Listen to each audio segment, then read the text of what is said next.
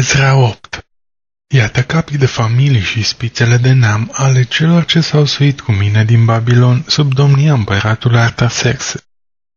Din fiii lui Fineas Gershon, din fiii lui Tamar Daniel, din fiii lui David Hatush, din fiii lui Shecania, din fiii lui Pareoș Zaharia și cu el 150 de bărbați înscriși, din fiii lui Pahat Moab Elionei fiul lui Zeraria și cu el 200 de bărbați din fiii lui Shecania, fiul lui Yahaziel și cu el 300 de bărbați, din fiii lui Adin, Ebed, fiul lui Ionatan și cu el 50 de bărbați, din fiii lui Elam, Isaia, fiul Ataliei și cu el 70 de bărbați, din fiii lui Ștefatia, Zebadia, fiul lui Micael și cu el 80.000 de bărbați, din fiul lui Ioab, Obadia, fiul lui Ehiel și cu el 280 de bărbați, din fiul lui Shelomit, fiul lui Iosifia și cu el 160 de bărbați, din fiul lui Bedai, Zaharia, fiul lui Bedai și cu el 28 de bărbați, din fiul lui Azgad, Iohanan, fiul lui Hakatan și cu el 110 bărbați, din fiul lui Adonicam, cei din urmă, ale căror nume iată-le, Elifelet, Eiel și Shemaia și cu ei 60 de bărbați,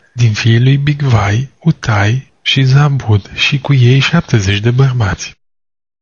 I-am strâns la râul care curge spre Ahava și am tăbărât acolo trei zile. Am căutat între popor și preoți și n-am găsit acolo pe niciunul din fiii lui Levi. Atunci am trimis să cheme pe căpătenile Eliezer, Ariel, Shemaia, Elnatam, Iarib, Natan, Zaharia și Meșulam și pe învățătorii Ioiarib și Elnatan. I-am trimis la căpetenia Ido, care locuia la Casifia, și i-am pus în gura lor ce trebuia să spună lui Ido și fraților săi slujitori ai templului, care erau la Casifia, ca să ne aducă slujitorii pentru casa Dumnezeului nostru. Și fiindcă mâna cea bună al Dumnezeului nostru era peste noi, ne-au adus pe Serebia, bărbat cu minte, dintre fiii lui Marli, fiul lui Levi, fiul lui Israel, și cu el pe fii și pe frații lui număr de 80.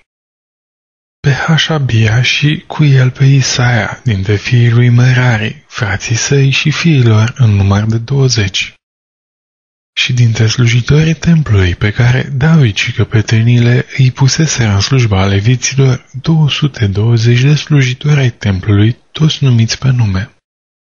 Acolo la râul la Hava am vestit un post de smerenie înaintea Dumnezeului nostru ca să cerem de la el o călătorie fericită pentru noi, pentru copiii noștri și pentru tot ce era al nostru.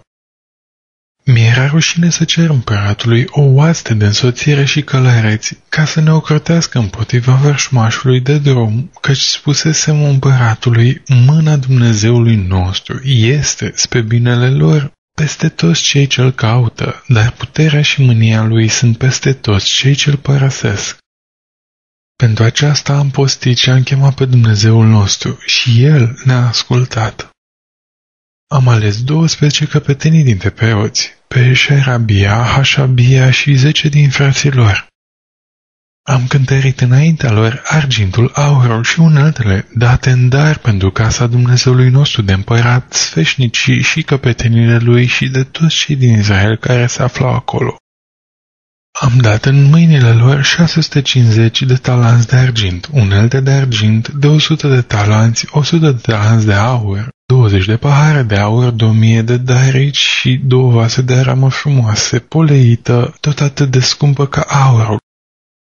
Apoi le-am zis, sunteți închinați Domnului, vasele acestea sunt lucruri sfinte și argintul și aurul acesta sunt un dar de bună voie făcută Domnului Dumnezeului părinților voștri. Fiți cu ochii în patru și luați lucrurile acestea sub paza voastră până le veți cântări înaintea căpetenilor preoților și înaintea leviților și înaintea capilor de familie ai lui Israel la Ierusalim, în cămările casei Domnului. Și preoții și leviții au luat greutatea argintului, aurului și vaselor ca să le ducă la Ierusalim în casa Dumnezeului nostru. Am plecat de la râul la Hava ca să ne ducem la Ierusalim în a 12-a zi a lunii întâi. Mâna Dumnezeului nostru a fost peste noi și ne-a păzit de loviturile vrășmașului și de orice piedică pe drum. Am ajuns la Ierusalim și ne-am odihnit acolo trei zile. În ziua pată am cântărit în casa Dumnezeului nostru argintul, aurul și vasele pe care le-am încredințat lui Mermot, fiul lui Urie, preotul. Cu el era Eleazar, fiul lui Finas și împreună cu ei leviții Iozabad, fiul lui Osua, Ioadia, fiul lui Binui. Fiind cercetate toate după număr și greutate, au pus atunci în scris greutatea tuturor.